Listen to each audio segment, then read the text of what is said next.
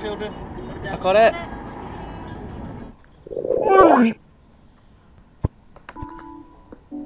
There have only ever been three teams that have won the FIFA World Cup without winning their first game.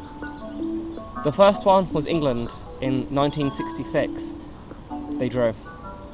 The next one was Italy, where they didn't win a game in the whole of the group stage. They drew everything. But for me, the winner has got to be Spain in 2010. They didn't draw the first game. They lost the first game, 1-0. To Switzerland, no less.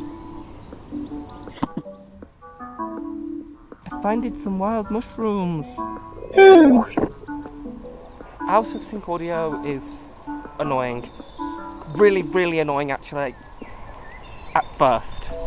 Because the more you get used to it, the more the brain just corrects it, sort of automatically, removing the lag. In other words, the brain tells you lies. See, experiments have shown that if you wear glasses which invert your vision, flipping everything upside down, or you ride a bike with inverted steering or other augmentations which just change the way you would normally perceive the world, the brain just corrects it itself, sort of automatically. There are lots of videos on this topic, and you should check them out too, but you should do your own research on it, you know? Do some experimenting. Mess with the perceptions and see how your brain reacts. Don't do anything stupid though. Just be sensible, like, no, don't kill yourself. Risk assess, you know. Do it properly, please.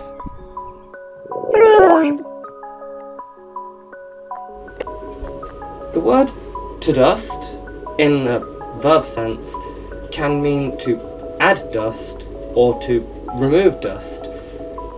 Words like that, which mean the opposite of themselves, are called contronyms. Or also antonyms, but.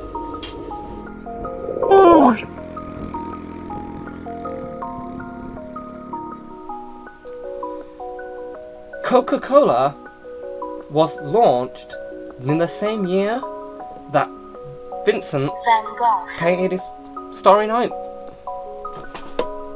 The year was 1889, and in June, Van Gogh. painted Starry Night.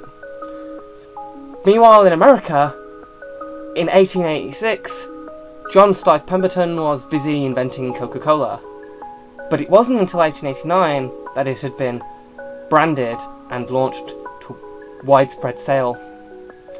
History is weird in that we know things happened and perhaps roughly when they happened, but how they play together, that often astounds us. There might be a video in that.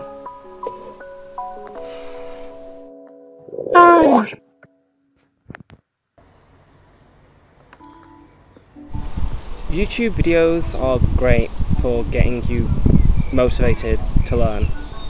They are passive and designed for entertainment, but false facts are everywhere, and honestly, it's better to research things for yourself. So, I encourage you to do so. Rip this video apart if you must, but be respectful. Just go out and learn stuff. Mm, Impress me.